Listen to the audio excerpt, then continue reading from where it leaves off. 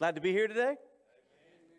I tell you, Kira, that was amazing. I love, I call it the it factor when you sense the presence of God falling on this place.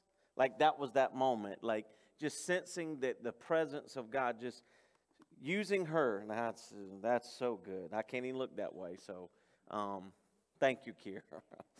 um, Acts 2.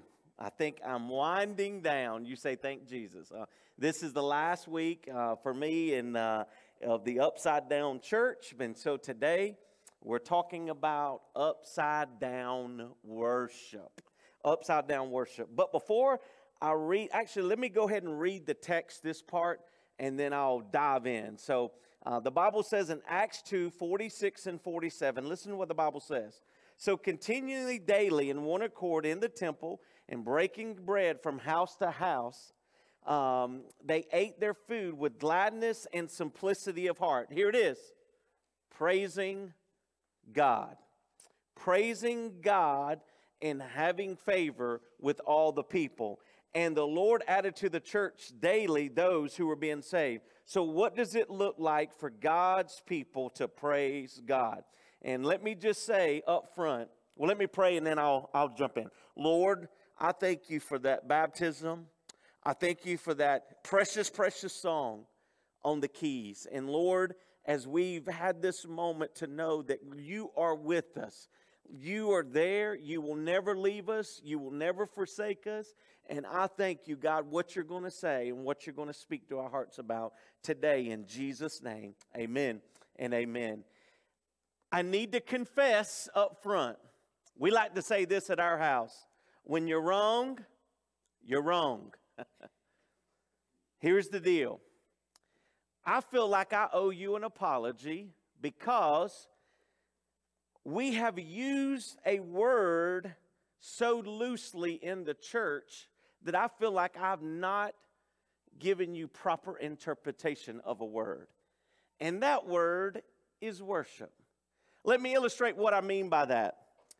And this is not to Jace or not to anybody that leads worship, but here's what we've come to realize, I feel like to some degree through the years, that we feel like worship is a hymn or a guitar or a piano, or we think it's the first 20 to 30 minutes of a service. That is worship.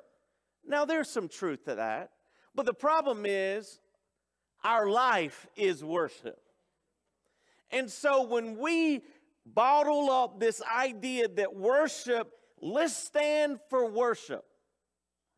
Let's have a worship service.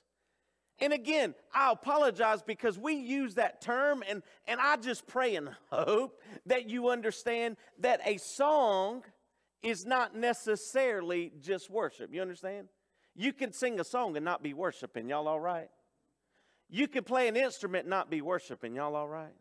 So the point is, I want you to understand that worship is a little bit different. And so upside down worship for sure, because we've associated it with, with certain times and certain ways. Well, man, that was a great worship experience. I love that kind of music. I can worship to that kind of music. That kind of music, I don't like that kind of music. I can't worship to that kind of music. And so what we've done, we've allowed ourselves and we've allowed honestly to pigeonhole ourselves to think worship is this one little way. And here's what I would say today upside down worship. I'm about to open, Lord willing, your eyes, hopefully. What does the Bible say about worship? And what does the Bible say and how we should worship? And we've we, I've just come to the conclusion that worship is not an event, it's a lifestyle. I, have just come to that realization that worship will never be an event. You can go to church all day long, but that doesn't mean you worship. You can you listen, I've worshiped without ever singing one song.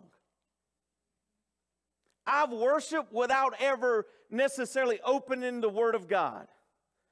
Now I can't tell you, Dan, if I would have saw you this past week at 11 o'clock at night in your beater car with the windows down and your, and, and your head bobbing to Jesus music. Okay, well, uh, maybe a little something like that. In worshiping God wherever you're at. whatever you're doing in worship. So, what in the world is worship? Glad you asked. Here it is. This is a working definition because it doesn't mean this is the only thing that involves. So, this is a working definition, and I just pray. I, have told my wife, she worked so hard on a couple videos you're going to see, and we've been working through this, talking through this, and I just told her last night, I said, babe, I, I hope to God that some way, somehow, that people will not hear, like, I know what worship is, and dismiss it. I pray they would catch it in a different light this morning. So, here it is definition. You ready? Worship is our love expressed to God as a response to his grace towards us. What look look look with it. Our worship is our love expressed to God because God's listen, God's grace toward us. I like to say it this way. If you break down the word worship, and here it is, this is what it means. Worth ship. That's what this word means. Worth ship. Now, if I were to say what is worth, that of value, that of something valuable, yes, you would do. But what does ship mean in the words? And so when you think about a ship, you think about a big boat, right? You think about, you know, uh, the Carnival cruise ship or whatever you're thinking about, and, and you think about a big boat. But yet, ship is a suffix that really means the state of being, the state of. Let me give you an example. Discipleship, it's the state of being a disciple. Relationship. What is that? It is the state of being related to someone. So here it is worship. It's the state of value you place on something. Hold on. Question How much is God worth to you? When you explain to others how much God is worth to you, how God is precious to you, the ways God is precious to you. You place value on that. You understand there's some, so I just, I'm, I'm absolutely realize there's nothing more valuable than God. And you place that value because here's the thing when you understand the value is for that person, talking about God, it's an expressed love towards God. Listen to me. Listen, this is it. Your lifestyle reflects that which you see and deem as valuable. So there's a video that I want you to watch, and I'll explain it to you in just a second. Check the, this video.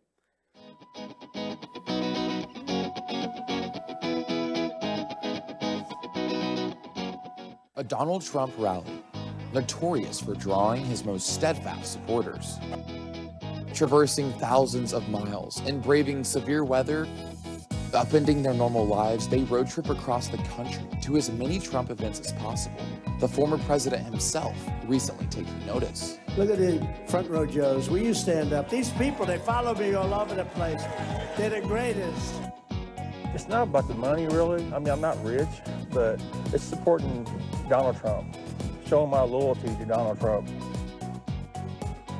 A politician receiving intense and unshakable loyalty from their supporters. Their support is unwavering. It doesn't matter what she plays. I know it's going to be beautiful. Whatever she has planned for Houston it's going to be great. Like, I think the community is going to be the best part about this weekend. It's so loving and welcoming and just genuine. I am just so excited to scream at the top of my lungs with people who love this music so much and Cheering for a sports team creates camaraderie. There is comfort in knowing that we are all watching the same game and cheering for our team at the same time. Cheering for a team can inspire hope and optimism.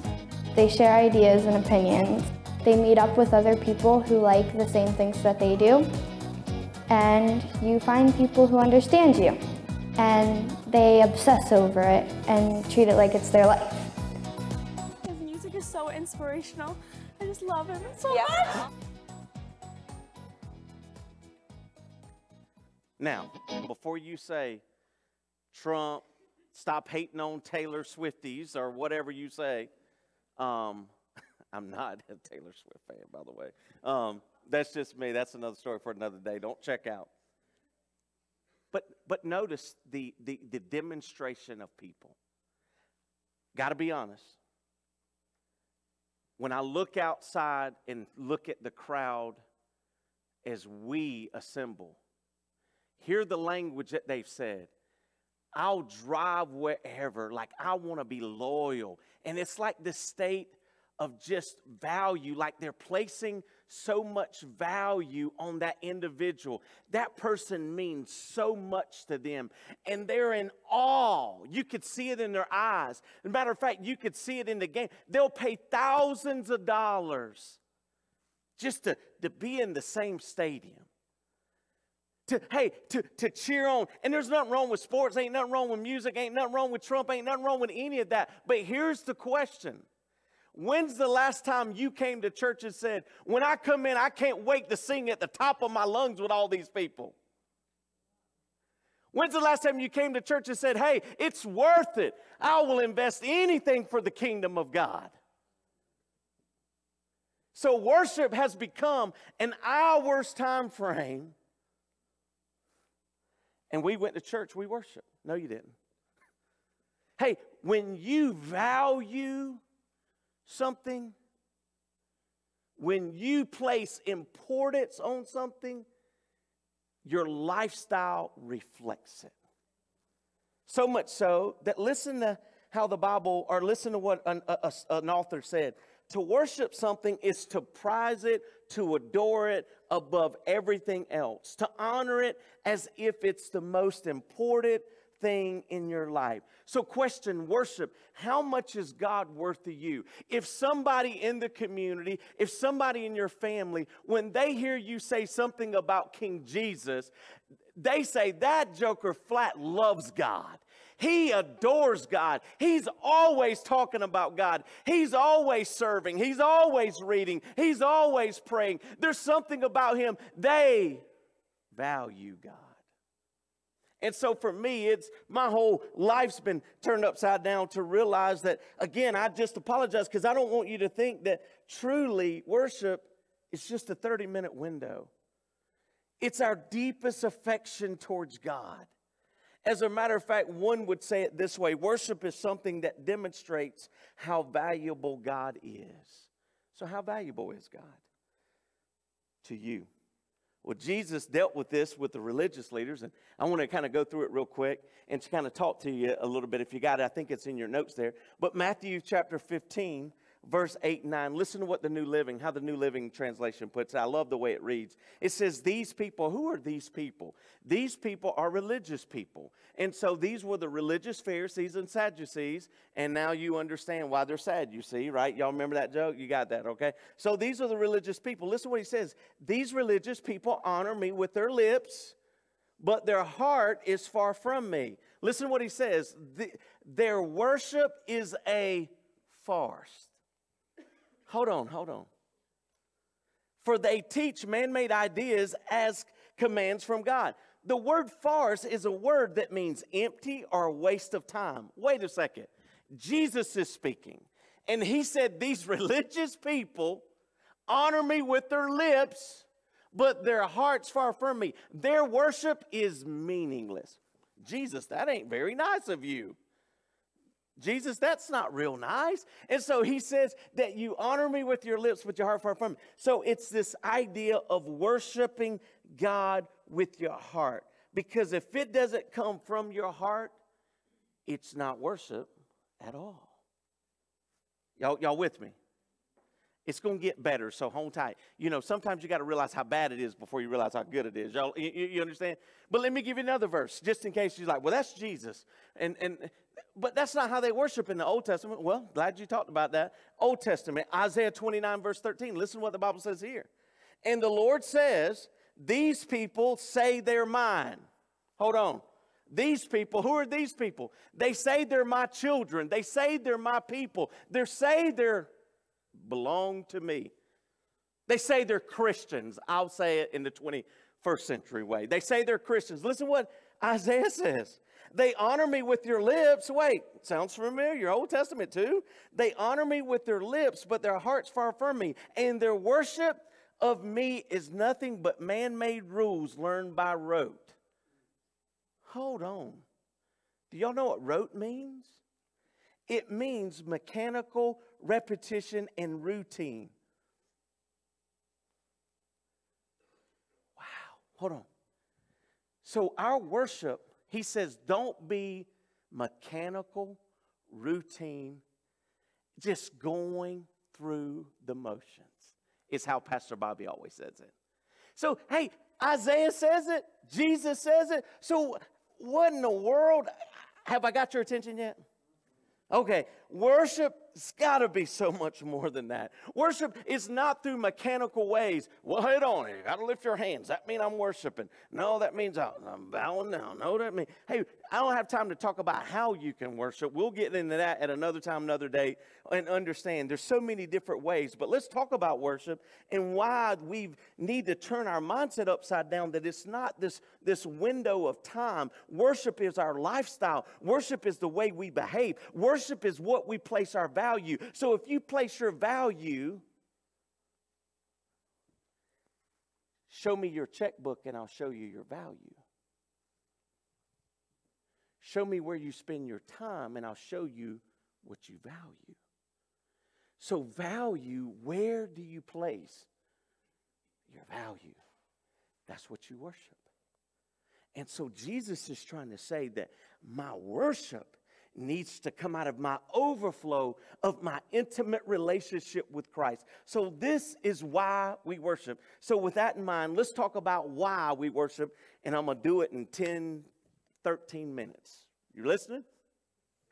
I think that when we get caught up in this idea of worship, well, let me just read Romans chapter 12, verse 1 and 2. You got your Bible there? Romans 12, 1 and 2. I'm going to read it in here, the New Living, then I'm going to read it in the New King James, which is normally what I preach out of. But listen how the, the, the New Living says it. And so, dear brothers and sisters of Christ, talking about us, Jesus followers, I plead with you to give your bodies to God because of all he has done for you. Let them be a living and holy sacrifice. This is what I'm saying. Your life, your whole being. Worship is not I raise my hand, I don't raise my hand. Worship is not I say words or don't say words. Worship is my life. Like my life is saying giving over to God. He says, my worship, he says, is living in holy sacrifice. This he will find acceptable. This is truly the way to worship him.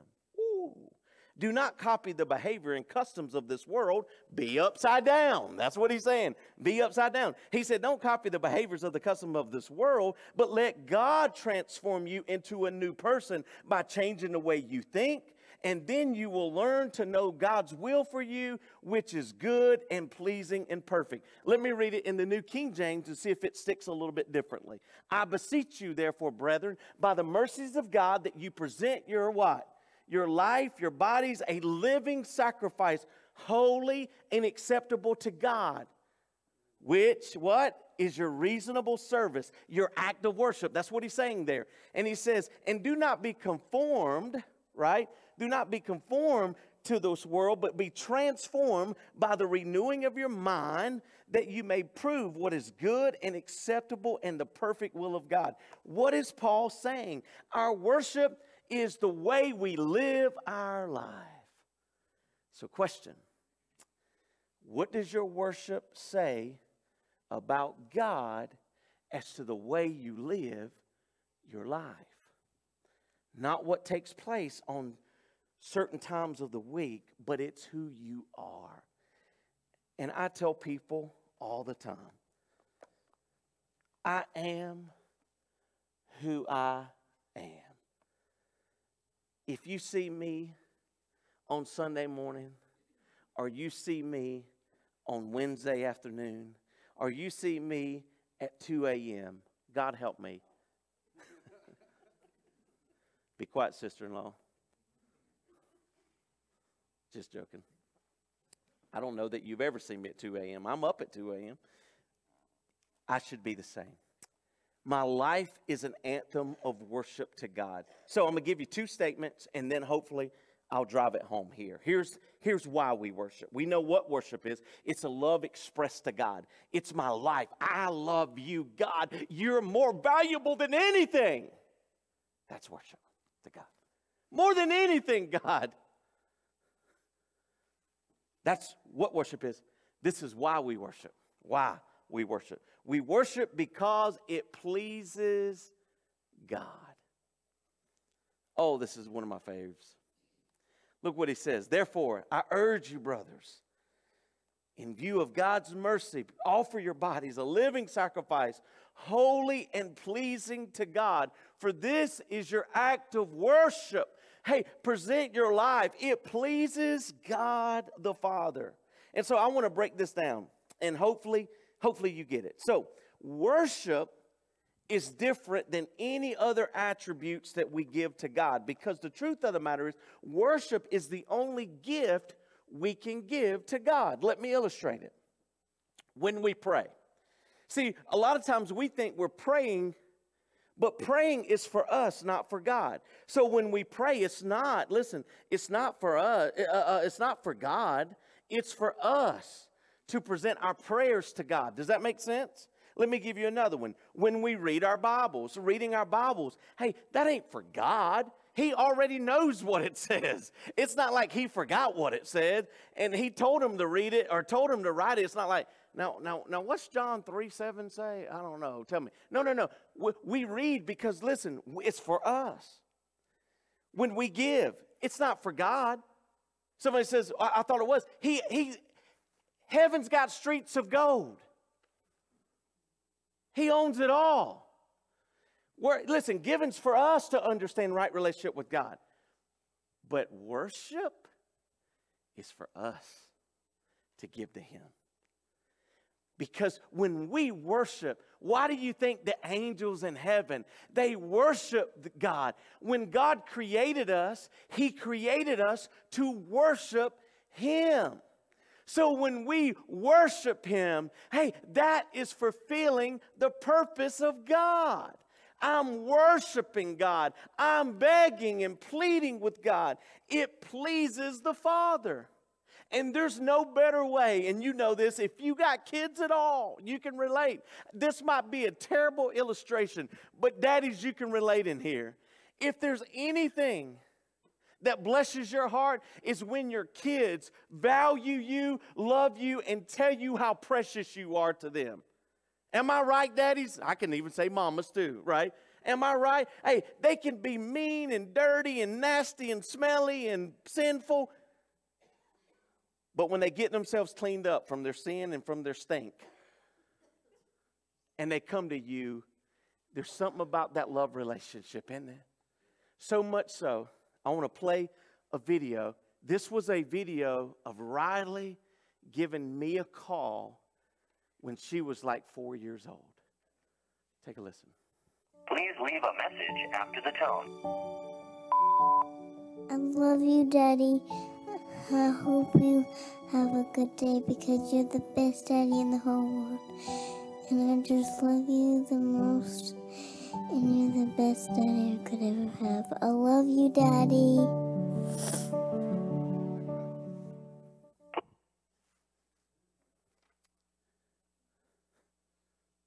Hey, why you think I still got it saved on my phone? Why you think I still got it saved on my phone? Daddy, I love you. You're the best dad in the world. when Jesus, when we can look at him and say, Hey, Daddy, I know when I worship it pleases you.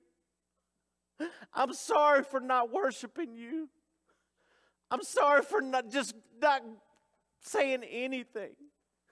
Standing there stoic, not doing anything, not even going, not even giving my all.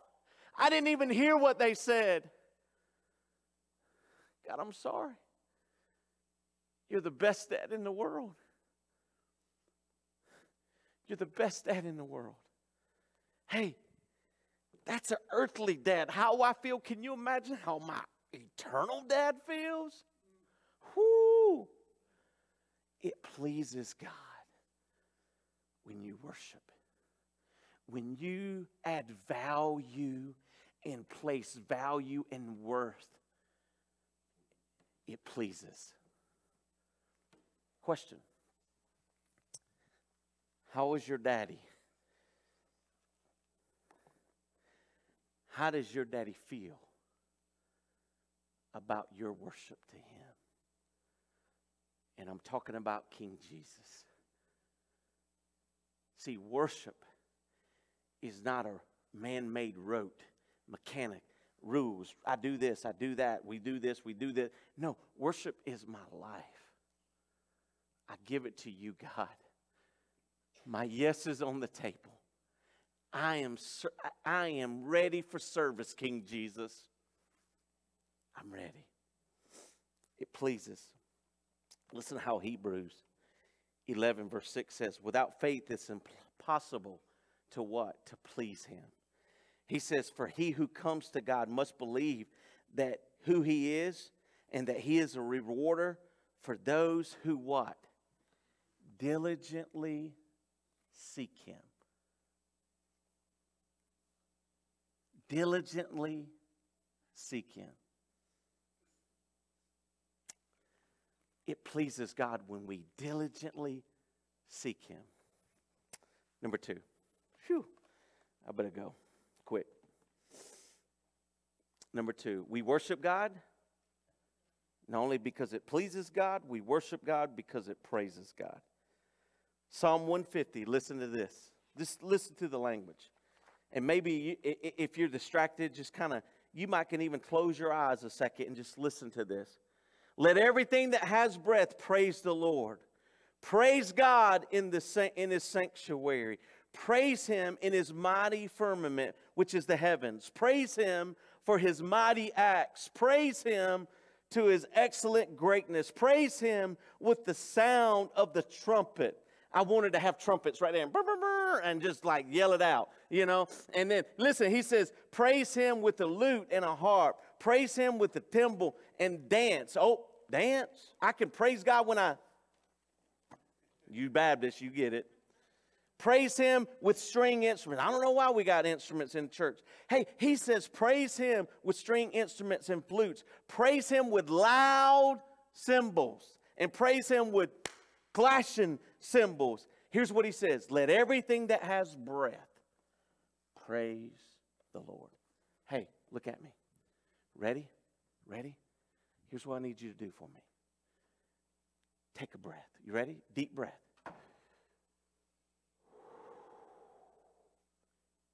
Let every body that has breath praise the Lord. This is Jewish tradition. It's not in the Bible, but it states as Jewish tradition that when a Jew inhales and exhales, he is saying the name Yahweh. When you read your Bible and it's capital Lord, it reference to Yahweh, Elohim, I am who I am. And so just by breathing, look, look, Jewish tradition says, just by breathing, you're saying, Yah, Yahweh, Yahweh. Just by breathing, Yahweh. Hey, let everything that has breath praise the Lord. Wow. What a what a what an unbelievable understanding that it's the angels in heaven.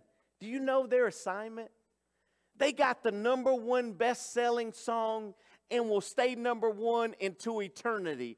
It's holy, holy, holy is the Lord God Almighty. Hey, that no one's going to top that list. The angels in heaven is saying, Holy, holy, holy is the Lord God Almighty. Let everything that has breath. See, that was an assignment. God made the angels. He ain't going to make you. He makes the angels. But He's not going to make you. It's a choice. And last time I checked, love is a choice. You love someone because you choose to love them. No one in this room would ever want anybody to love them based out of guilt or force or manipulation. everyone wants that spouse, that kid, that relationship, a choice. Hey, God made us to choose to worship Him. Let everything that has breath praise the Lord. And lastly, Psalm 130, or actually Psalm 34, and I'm not going to get through all of it, but I'm going to get through one verse and eight. All right, ready? I will bless the Lord some of the time. Dan, that don't say some of the time? You sure about that? I will bless the Lord when I don't know how to make ends meet. I will bless the Lord when my kids are wayward.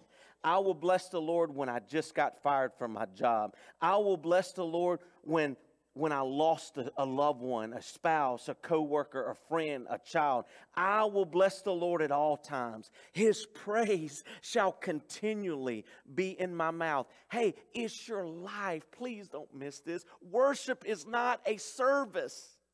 It's your life. And then later on in verse number 8, he says this, "Oh taste and see that the Lord is good. Taste and see that the Lord is good. You know what I know about that? It hit me this week. It hit me this week. If you taste something, oh, this is good. If you taste something, you got to open your mouth. Some of you ain't tasted how good God is because you ain't opened your mouth to tell Him. Good night. He says, Taste and see what the Lord is good. Sometimes you just got to open your mouth and try it. If you like my wife, she's like, Here, try this. I said, I don't want it. She said, Just try it. I don't want it. Try it. Yes, ma'am. Oh, taste and see that the Lord is good. Hey, worship, if you taste it, that it's not just a mechanical routine of a service, a song, a, a, an event, but it is your life. It's our love expressed to God as a response to his grace towards me. God, I don't deserve it. I'm going to praise you. God, thank you. I'm going to praise you. God, with everything inside of me, I'm going to praise you, praise you, praise you. What is he worth to you? Because he's worth my life. I will go and I will do anything for King Jesus. You hear me? If he tells me to go to China and plant a church in the most horrific area in the world, God is my witness, I'll go to China. If he tells me to cross the street to my neighbor, I will cross the street to my neighbor because my life is a anthem of worship. God, in response of what you've done for me, I can't repay you. I can't do enough it, you are more precious than ever, than anything else. There's an old song, He's more precious than rubies, He's more precious than anything. May our worship be that echo that God is more valuable than anything else we will ever experience. May our worship be our lifestyle and not an event. Amen. Do you understand it? I hope so. Because I sure spent a lot of time trying to get it. Father, we give you this service. Speak. I really do believe you spoke through the baptism, you spoke through the piano and the beautiful song that was sang. And Lord, I really believe you were speaking to hearts and lives as I was preaching. May our worship be an anthem. May our worship be our lifestyle and who we are. In Jesus' name, amen and amen. Would you stand as we sing?